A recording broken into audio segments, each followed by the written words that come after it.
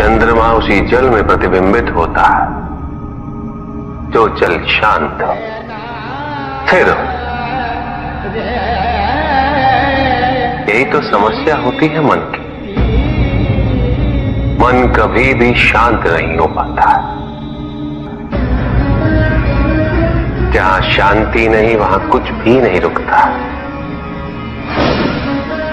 समुद्र की लहरों की भांति विचारों का उपद्रव मन को निरंतर स्थिर रखता कुछ भी सुनने और समझने के लिए मन का मौन रहना आवश्यक है। किंतु मन मौन रहना नहीं जानता वो तो निरंतर कुछ ना कुछ कहता रहता प्रतिपत्ति शब्दों का आक्रमण चलता रहता है मन पर। और यही आक्रमण है जिसके कारण व्यक्ति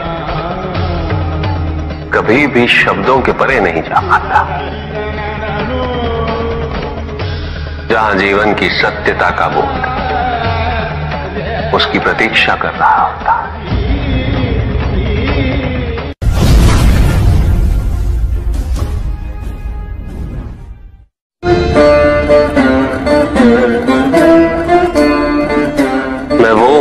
जो नहीं है।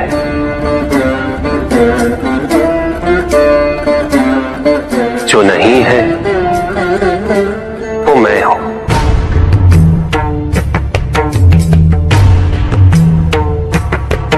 चिरकाल तक सभी को यह स्मरण रहे। जब आप में श्वास है तो मैं आप में हूँ। देव देव महादेव शिवा।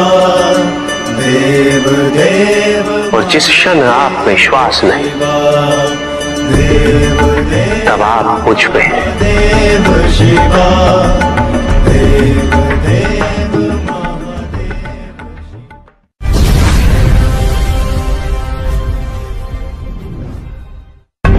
सत्य को जानने के लिए वन में जाना अनिवार्य नहीं है।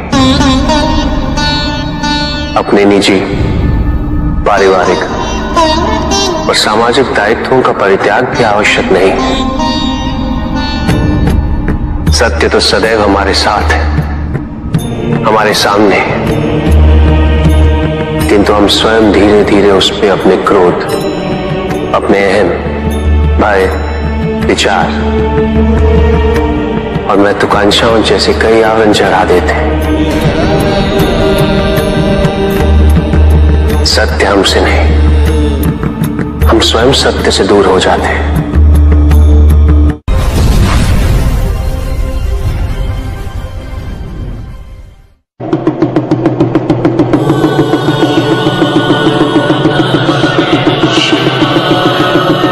न अमृत, न विष, न सुख, न दुख न स्वर्ग न नरक वही परम आनंद है। उसी परम आनंद तक की यात्रा है तुम्हारी। ये यात्रा आनंद के सानिध्य की है। ये यात्रा सानिध्य के आनंद की है। और इस यात्रा में मैं प्रतिपल तुम्हारे साथ हूँ। मुझे ढूंढो मत। केवल पहचानो। तुम ही मैं हूँ। मैं ही तुम। हर आरंभ का मैं ही अंत हूँ। और हर अंत सदैव मेरा ही आरंभ होगा। देव देव महादेव शिवा देव देव महादेव शिवा। तुम्हारे साथ छल तुम्हारी अपनी इच्छाओं ने किया है। तुम्हारे हट ने किया है।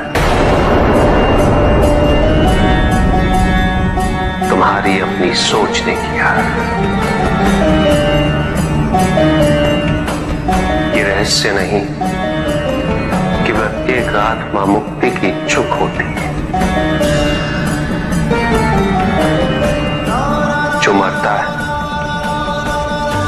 पंचभूतों से निर्मित शरीर।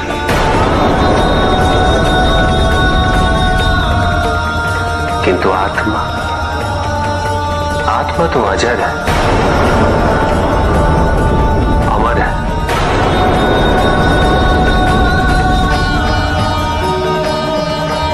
जिसकी यात्रा मोक्ष पर संपूर्ण होगी।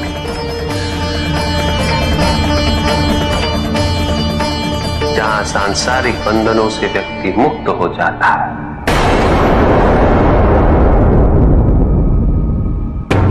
सारी इच्छाएँ लुप्त हो जाती। किंतु तुमने तो कभी सत्य की खोज ही नहीं की। तुम तो सदैव उन तत्वों को ढूंढते रहे, जो तुम्हारे अहंकार के पोषण हेतु आवश्यक थे।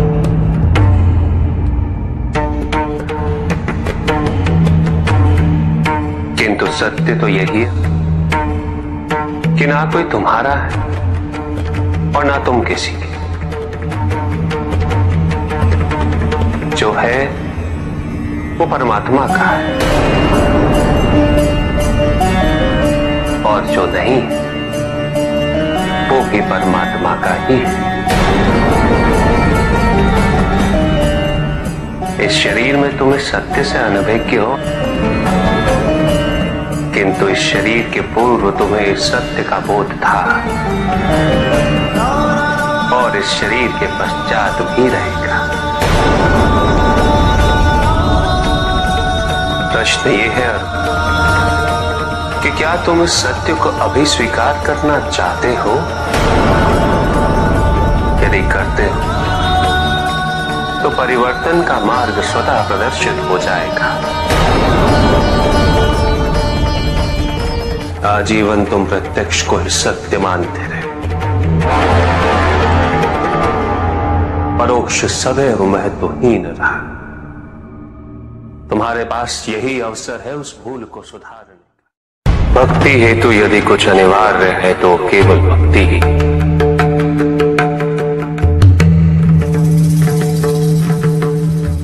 किंतु प्रश्न ये है कि क्या आपकी भक्ति संपूर्ण है? विश्वास और भ्रम के बीच की रेखा अत्यंत महीन होती है।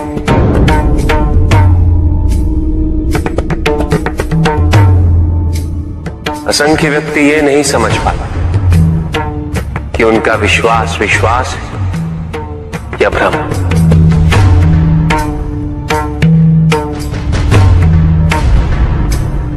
मुझ तक पहुँचने के लिए किसी और की आराधना अनिवार्य नहीं। मेरे सच्चे भक्त तो मुझे किसी भी रूप में पूज सकते हैं। किसी भी रूप में प्राप्त कर सकते ओम नमः शिवाय। पुरुष और प्रकृति एक है। वो कभी पृथक नहीं हो सकते।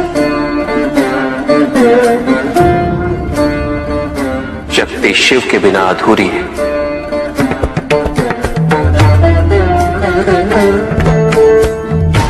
और शिव तो शक्ति के बिना शव के समान है। शिव शक्ति पुरुष प्रकृति का संतुलन। सदैव अनर्थकारी सिद्ध होगा। शरीर में यदि स्त्री तत्वों की ऊर्जा नहीं तो शरीर निर्जीव है।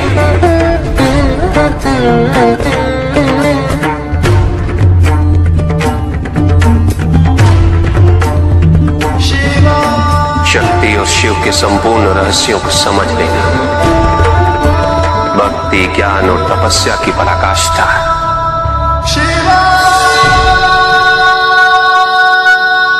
जब ज्ञान के लिए शब्द पर्याप्त बना उदाहरण प्रस्तुत करना अनिवार्य हो जाता है। केवल आपके लिए ही नहीं। अपितु तो आपके माध्यम से समस्त संसार को शिव और शक्ति की संयुक्ता से पुनः अवगत कराना इस प्रसंग का उद्देश्य था। महादेव जो पूर्ण हुआ महादेव महादेव।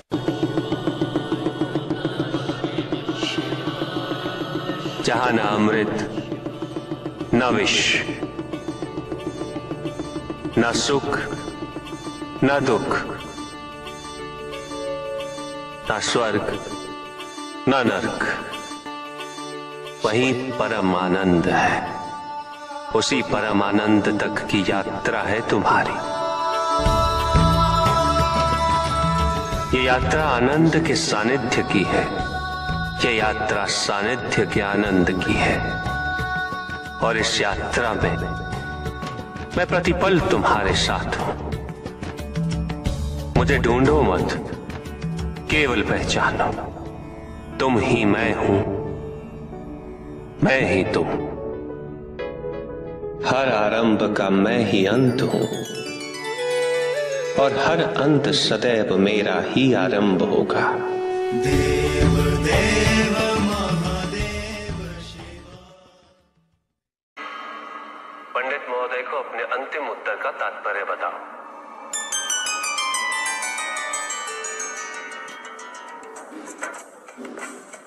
तात्पर्य यह है पंडित जी इस जगत में एक गुण, दो गुण, तीन गुण, पाँच गुण, ये सारे आरोपण मानव का मस्तिष्क करता है।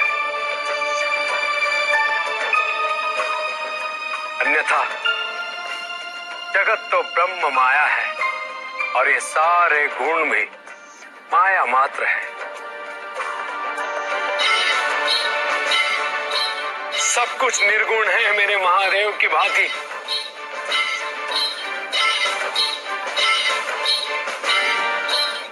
और गुण तो मात्र लीला का नाम है। साधु साधु साधु साधु किंतु प्रभु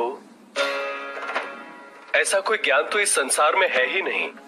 वेद तो ईश्वर की आराधना व्रत तप ज्ञान आदि क्रियाओं से करना सिखाता है। तो फिर निर्गुण वाली बात सत्य कैसे हो सकती है? वेद में ही सारा ज्ञान है पंडित महोदय।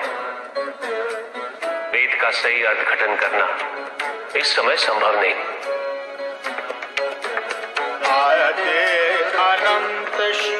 प्रजापिता ने वेद के मंत्र दिए। ताकि मनुष्य मात्र अपने गुणों के माध्यम से निर्गुण तक पहुँच सके।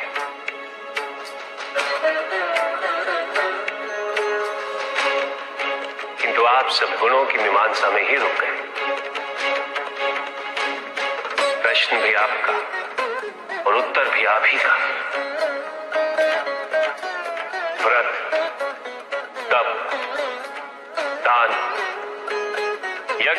इत्यादि से ही संसार का निर्वाह होता है। किंतु उसी वेद में ईश्वर प्राप्ति के लिए निर्गुण बनने का मार्ग छिपा हुआ है। उस ज्ञान को आप देख नहीं पाते, पंडित महोदय।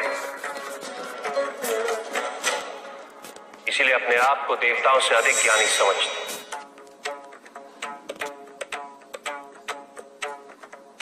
पंडित महोदय ज्ञान का भ्रम अज्ञानता का प्रथम लक्षण है। इस प्रकार भरे हुए पात्र में कुछ नहीं समाता उसी प्रकार ज्ञान के अहंकार से भरे मन में अधिक ज्ञान नहीं समाता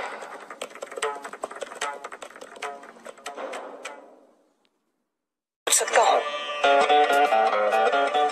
अवश्य ऋषि कश्यप। जहाँ प्रश्न नहीं वहाँ जिज्ञासा नहीं। जहाँ जिज्ञासा नहीं होती, वहाँ ज्ञान की वृद्धि नहीं हो सकती।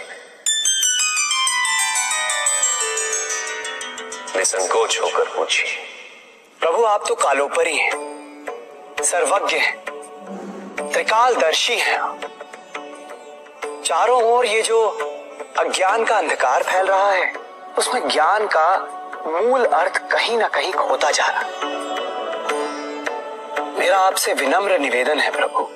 किसी अन्य विषय पर चर्चा आरंभ करने से पूर्व, हमारे और इस समस्त संसार के कल्याण और मार्गदर्शन हेतु, आप ज्ञान की मूल परिभाषा से एक बार हमें पुनः अवगत करवाएँ। ज्ञान और अज्ञान की परिभाषा को स्पष्ट रूप से समझने के लिए ज्ञान और अज्ञान की विशेषताओं का स्मरण करना आवश्यक है। जिसके कारण स्वार्थ, विनाश, क्रूरता, अशांति और भय में वृद्धि हो, वह ज्ञान है। किंतु जो व्यक्ति को उदार निर्भीक सहनशील और विनम्र बनाए वही ज्ञान है। अज्ञान की शक्तियाँ दुरुपयोग करने हेतु प्रेरित करती हैं। किंतु जो अपनी शक्तियों और अपने सामर्थ्य के प्रति अपने उत्तरदायित्व को समझाए जो केवल अपने, अपितु अपने से पहले संसार के उद्धार हेतु प्रोत्साहित कर। वो ज्ञान है। ज्ञान का मूल उद्देश्य ही परोपकार है। सृजन है। दूसरों की भावनाओं को समझना, उनका आदर करना, यही ज्ञान है।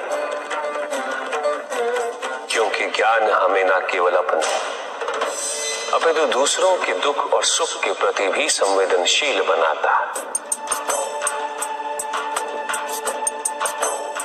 किंतु जो दूसरों की भावनाओं का अनादर करे, उसे ज्ञान की श्रेणी में कैसे रखा जा सकता है? अज्ञान के कारण व्यक्ति सांसारिकता में बंधता जाता है। वो माया में उलझता जाता है।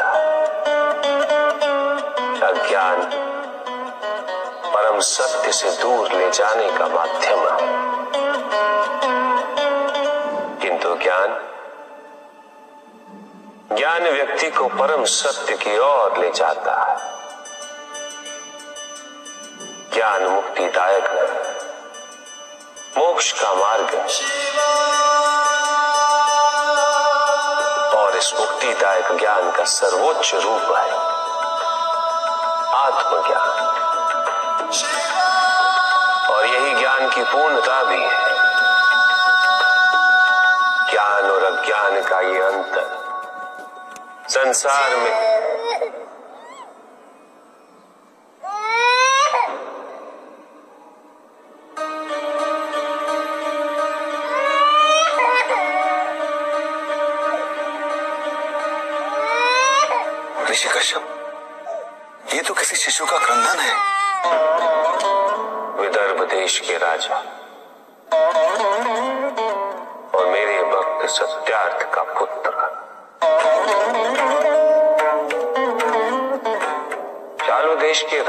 सत्यार्थ की हत्या कर दी।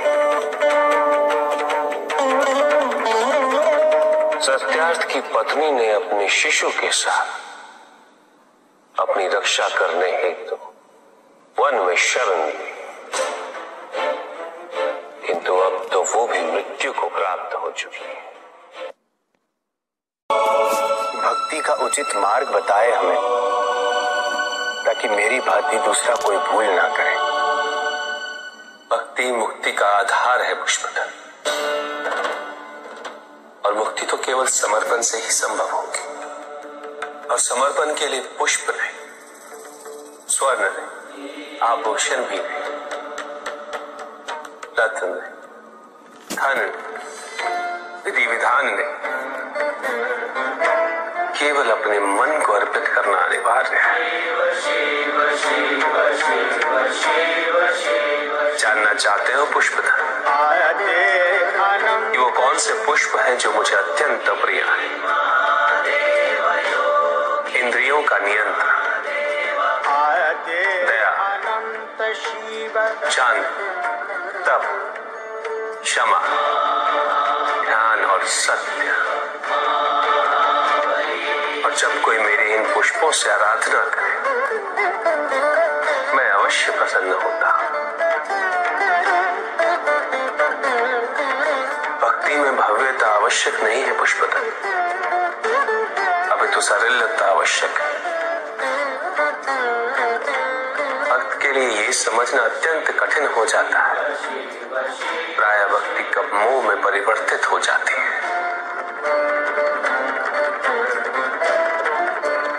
और ऐसे में पथ भ्रमित होना अनिवार्य है।